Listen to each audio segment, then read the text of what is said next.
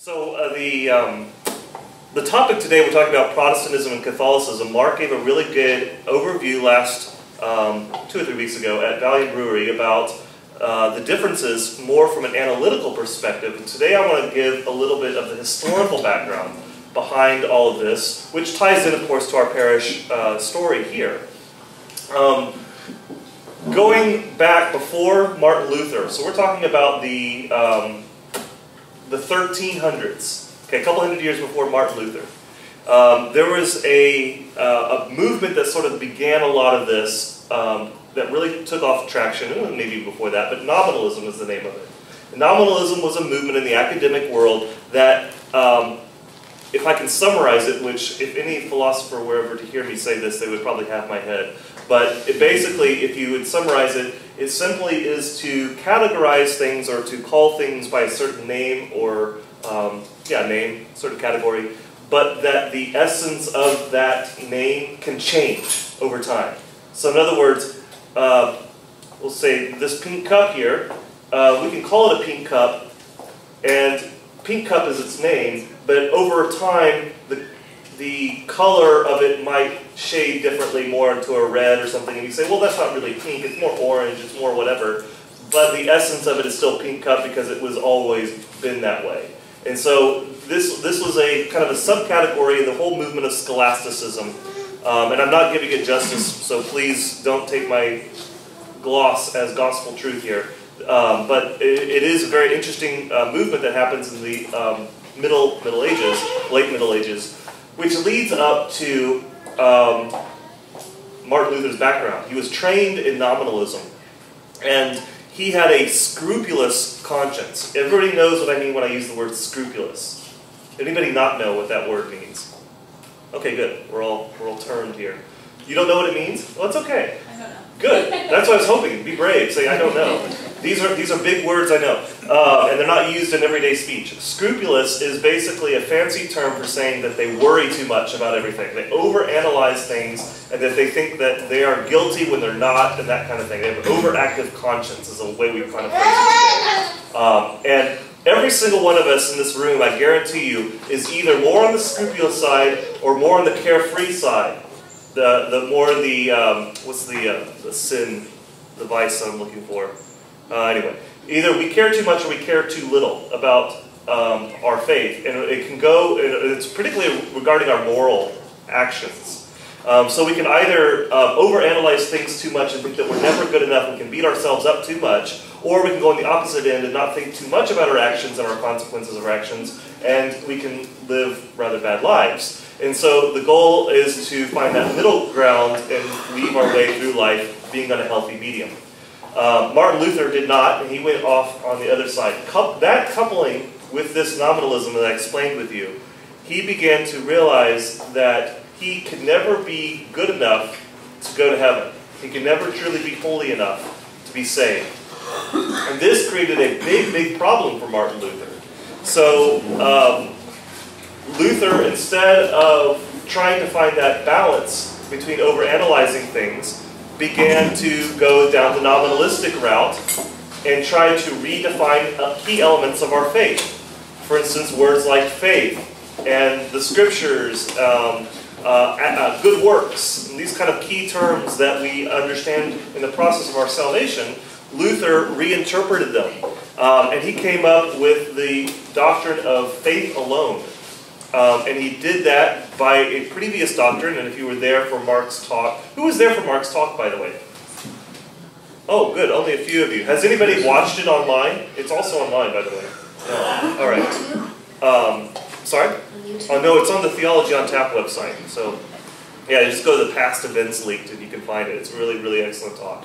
But one of Mark's foundational leading up points that he made in his presentation was that with all of the different strains of the other denomination of Christians that are out there that came out of the Protestant Reformation, they all have one thing in common, and that's that they are themselves the sole authority of interpretation for the Bible. And that means different things for different one of these different groups. And it all comes from Martin Luther, where Martin Luther talked about how the scriptures alone were the authority of our interpretation or our belief, our faith and morals and so forth. Um, and so with that, he ultimately came up with the um, understanding of faith alone, that we are saved by our faith alone and not by our works. Um, and he did this by a nominalistic interpretation, really, of St. Paul, where St. Paul talks about how we are saved by grace through faith, etc. Well, Paul is not talking about, in this case, works having no value or no merits for our salvation. He's talking about works of the law, the Old Testament law from Moses, not being applicable anymore to Christians after Christ came. Martin Luther reinterprets that slightly and says, yes, not only is Paul saying that, but it also applies in our day and age to any moral action that we do. So any good action that we do of ourselves cannot ever please God because God is all holy and we are not. And so Martin Luther shifts the um, understanding just ever so slightly, which seems very much like what we are saying, but has a whole different set of ramifications many of which Mark talked about at his presentation. And this is where we're going to get into today, where we have plenty of time for questions and answers uh, and discussion time today. So I'm not going to hog up all the time by talking about it. But needless to say is, this thing's not working great. Uh, needless, to, needless, to, say that uh, what happens is that Martin Luther ultimately gets excommunicated after having many chances to come back to the church um, and to uh, try to reform the church from within, because a lot of Martin Luther's reforms are good.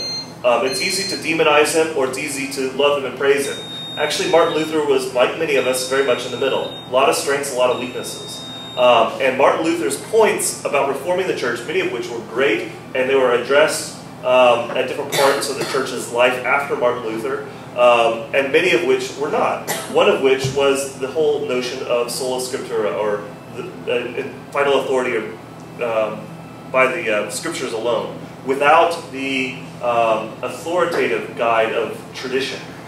When I use tradition, I mean capital T tradition in this case. Um, tradition is not just simply the Bible, but it's also the correct understanding of the Bible. And it's also over the period of 2,000 years, from not only Jesus Christ, but also to the present day.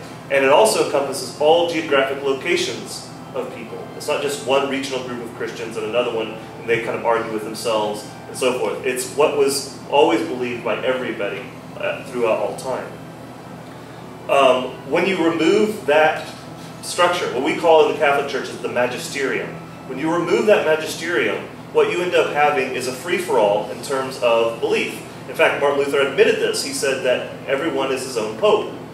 And so what ends up happening is Martin Luther ends up starting what he calls the Evangelical Catholic Church, um, which is known today as the Lutheran Church.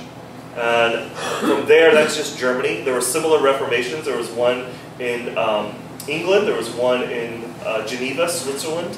Um, and then there was little ones that scattered around split offs of that. So now in this country alone, we have something like 50,000 different denominations.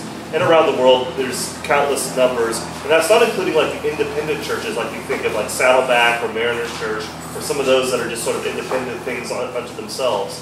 Um, those are even an innumerable um, count as well. And they all believe slightly different things um, from each other.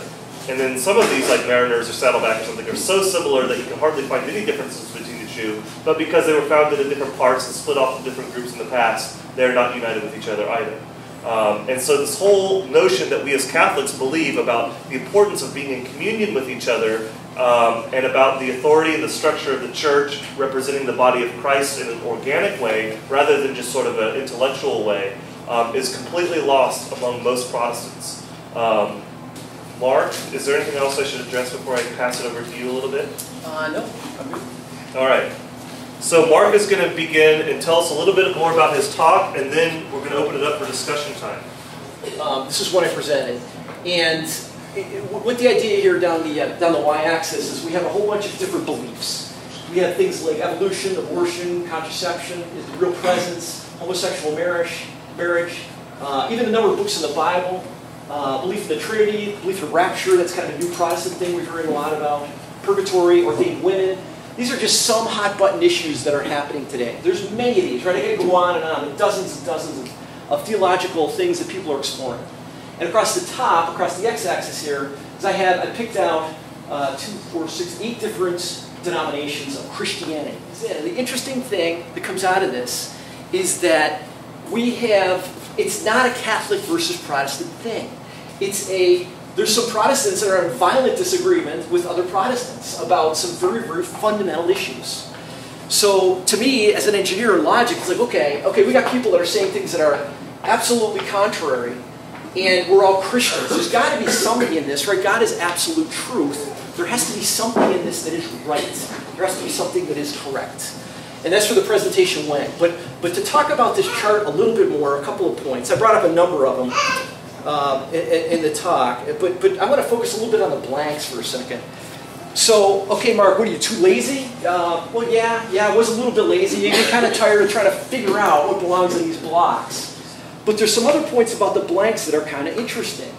Some of these uh, may be blank. In other words, I couldn't identify the belief in these various things because maybe the issue is too controversial. Maybe it's something that church doesn't really want to talk about because it could lead to another division. That's possible. Maybe it's not considered important. But some of these issues, like holy mackerel, these are pretty darn important issues in life. But maybe that church doesn't consider it important. That's, that's a possibility. Um, some have told me this. I've talked to some ex-Protestant people and, and, friends. They've told me uh, that if it's not explicitly listed in the Bible, the church won't comment on it. Not, I'm not saying it's true for all of these, but some churches are of that, of that idea. That if I don't see something like abortion's not in there specifically, it doesn't call out that issue, it doesn't say abortion is wrong, therefore, I'll leave it up to you and your interpretation. Oh, another one, another comment I get on this table, this, this is pretty interesting to me, is that I have friends who say, hey Mark, look, I'm above all this. I'm above all this. I am non-denominational. I say, okay, okay, that's an interesting point. So what I have to do now is I have to put another column in here, and I'm going to put non-denominational on it. And you're going to tell me answers to these various questions. Because you have beliefs, you have, you have a, a, reason why you believe these various things. Just tell me what they are. So a couple things come out of that. Um, number one, it's kind of interesting. That the way I look at this is you could use the label of non-denominational for your denomination. Okay, okay. It's kind, of, it's kind of interesting. And another one that Father Bartus hit on is um, when we do this, somebody is deciding this. Somebody is deciding these, these answers. And the way, I, I like the way he's putting this, is in effect, who is deciding that is the Pope, right? So in Catholicism, we have, we have, at this time, Francis, right? But all the popes before helped us fill out this column. Somebody had to decide what goes into these, and you could define that person who decided what goes into these as the Pope. So if I am non-denominational, some people say, hey, I'm spiritual. It's, an interesting thing. So in effect, in that case, you are your own pope, right? Because you're deciding what goes into each of these boxes. Um, but there's, there's a lot of interesting things. Let me just tell you some of the questions, or a particular question that came to me after the talk, which I thought was, uh, was pretty cool. Um, so somebody said to me, uh, if, I'll, I'll paraphrase it, if the sacraments are so powerful, why do I see so many Catholics who have received them doing so many messed up things?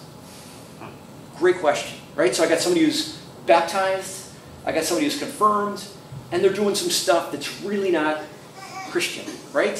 What's up with that? These, these sacraments are so powerful. What about gives? Great question. So, so the response for this, I've heard this actually from my teens too, so it was, it was uh, something that I'm familiar with. But imagine it's my birthday, okay? Imagine it's my birthday and you want to give me an incredible present. So being a geeky guy, an engineer, you say, Mark, I'm going to give you a computer. It's like, oh, great, thanks, right? So then later you see that um, I'm screwing up my taxes, and I'm not answering email, and I'm not up on the news, and you're thinking, what's up with this guy? I gave him a computer. He should, he should be able to do this. What's wrong? Okay? So the key is you could give me that gift. You could give me the computer, Am I using it? Am I using it? Did I even open the box? So the story here is, is that we have these incredible gifts. We have these amazing gifts that were given through the sacraments.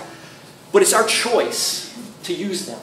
The, the, the, the cool thing about this is, is God loves us so much that he really wants us to love him truly back. And true love can only come through a conscious choice, through free will. I have to have free will in order to have love. So God loves us so much. He, oh man, I hope you love me. I really, really hope you do. But I can't force you because if I force you, it's not love. So I'm going to give you these gifts. Man, I hope you use them, but it's your choice. It is your choice. So anyway, I, I hope that makes sense on one of the questions. I thought it was, it was an excellent question. But um, I would like to open it up and let you guys ask questions. And I, and I would like to, uh, a couple caveats. Number one, if it's a, I get to, I get a choice to say, I don't know. I'm allowed to say that. and I'm also allowed to say, that's a hard question. Father Bartus has to answer. Okay? I have a question. Um, I noticed that a lot of young, the younger generation of Protestants and even street preachers uh, have now gone on the whole "I love Jesus but I hate religion" bandwagon. Uh, what's the, what's the kind of response to the whole charge that you still love Jesus, just not be part of religion? Yeah, I, have heard that. So there's, there's a lot of ways you can approach that. But, but one of the things that I love about organized religion is we're, we're asked to be in community with each other, right? It's kind of a thing, go out, we're supposed to be, be loving one another. And it's not just a relationship with me and God. That's, that's a lot of people say it's, it's just me and God. If you look at some of this, the solas, this, the, uh, the Protestant solas, they take out the idea of me praying to saints. And, the, and again, I, I don't want to sound accusational. I don't be coming across that way. That's, that's not my point. I, I, I don't want to do that. It's just I'm trying to point out some differences. But the idea of me praying to a saint, it's like, no, it's me and God. Or uh, me asking you to pray for me, some will allow that. But, but other beliefs kind of isolate me as a, as a me and God. Now that's great, that's great, but, but Jesus tells us to love one another.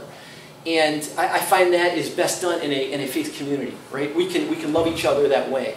And, and cel- the other thing is celebrating the Eucharist, celebrating the Mass, celebrating the sacraments. Those are, those are done uh, as a group, not just as an individual. Me, I don't need organized religion. No, organized religion brings me incredible gifts. We have in our religion the sacraments, which are amazing gifts that God has given to us. And to say, I don't need that, again, God will allow us to make that choice, but we're leaving so much out there, so much things that can really help us on our journey. That's, that's the way I kind of look at that.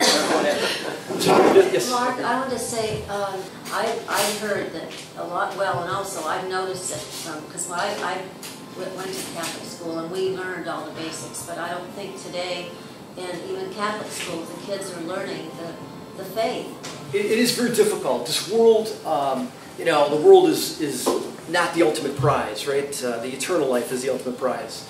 And this world is really, really good at confusing and leading us down wrong paths, right? Uh, the, the world is like the media. They're very good at rewriting history, telling you half truths, trying to lead you and leaving out key pieces to get you to these ultimate truths. It's very difficult. So that's why we really need the people of faith to go out there and be these missionaries and help help help people through this. So the idea of this uh, uh, new evangelization, you've heard this terminology, right? And, and, what is this? What's new about evangelization? What, what, what, is, what is new about this? The interesting thing about to me about the new evangelization is that what we are doing is we are now taking people who have heard the message and trying to get them the correct message right? So originally, way back when, when the church was founded, I had evangelization going on. People had no idea anything about Christianity, never heard about it. And so now I'm telling people, hey, let me tell you about Christianity. Let me tell you about this. Today, there's a lot of people have heard about Christianity.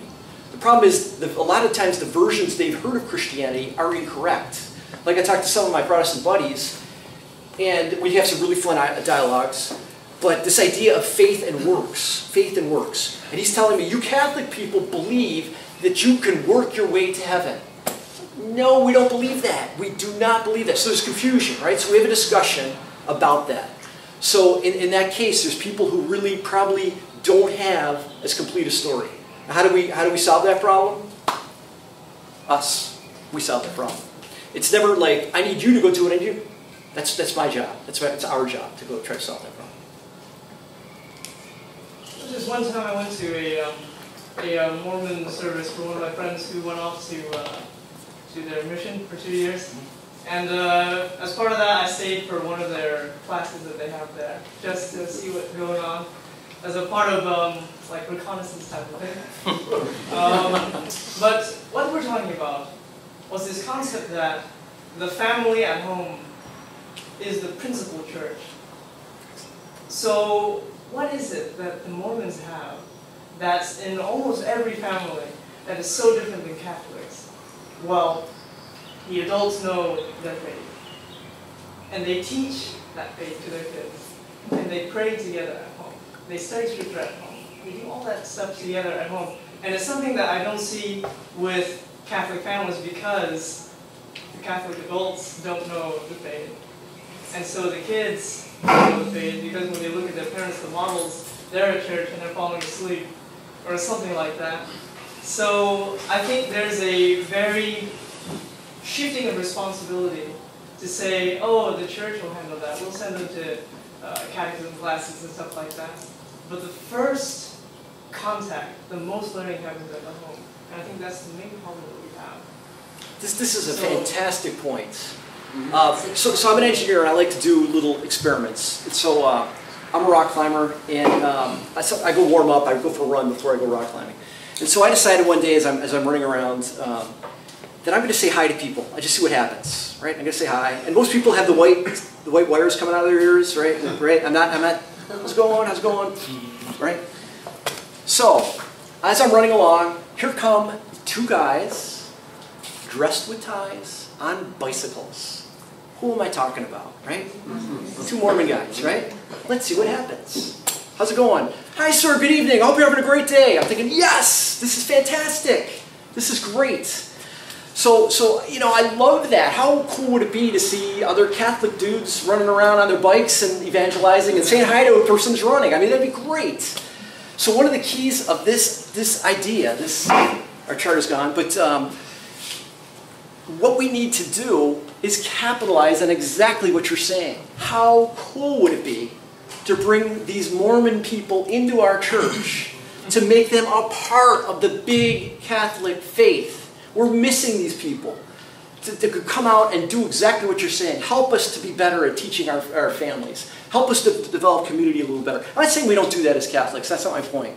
But when Paul talks about you know the various parts of the body, and you know the eye, and the, it can't be the ear and the hand, and I, all the, things he uses, we're missing key parts of the body, right? We're missing some of these beautiful Protestant people of different faiths that can help us. They can help expand the faith. They can help us learn. They can help us become more godly, right? We have the right we have the right theologies here, but we would love to have more of these people in our church helping us do exactly what you're saying. It's great. I, love that. One more, yes, sir. Um, so going back to the family thing of the Mormon, and what we were saying earlier, um, how do we incorporate that, or what have you done to like when you're having discussions with your Protestant friends? I feel like anytime I have a discussion with anyone Protestant, they're they spend so much time in apologetics. I really don't know how I don't have any answers to what they're saying because I haven't built the Yes. the uh, Yes. I don't have the background. So, so what did you do? I mean, I guess my question is, do we all have to go get philosophy and theology degrees? Okay, this, I love this question. It's a great question. So, so uh, part of the answer for me as an engineer is I started learning a little bit about apologetics. And there's some great tapes out there and CDs and stuff that you can get to start if you're interested in it.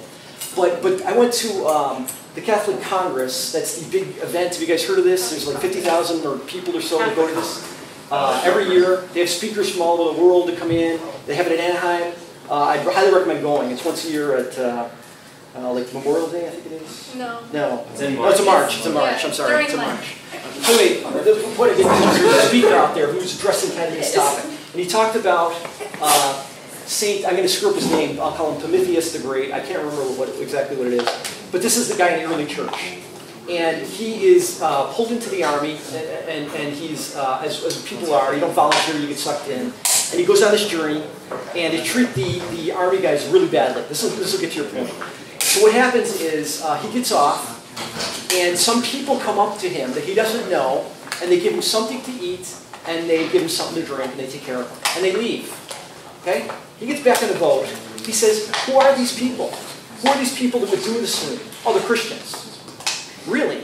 They don't. I don't owe them anything. Why do they do this for me? Why do they do this for me?" And he goes on this journey as he finally gets out of the army, and he says, "You know what? I got to find out who these people are. This lifestyle to me is incredibly compelling. These people are helping me. I owe them nothing, and they just helped me." So Saint Prometheus goes on to be a great saint. He, he starts. He brings in all these uh, these these monks, like seven thousand, into the church. Amazing evangelist. Who's the hero of the story? Well, we could say the Saint Prometheus is, or we could say that simple group of Christians who met him and just did him a loving service and left. So the point of this is, do I have to know and hit people over the head with my Bible and all the great theology and catechesis I know. No. What has Mother Teresa done? She's incredible at, at converting people, right? What does she do? She serves the poor. She serves the poor, right? And just how I live my life, my daily life, do I live my Christian values? Do I love them? Do I, you know, when my friend comes up and gives me out his apologetics, hey, I don't know, but I, I love my faith and I believe it's true, and here's why. Great answer. But through how you live your life is actually an influence on people, a lot of times more of an influence than battling them with theology. So, so I would recommend continue living your Christian life. That's an incredible sign. Just like these people who gave Prometheus food and water, there's something compelling about that.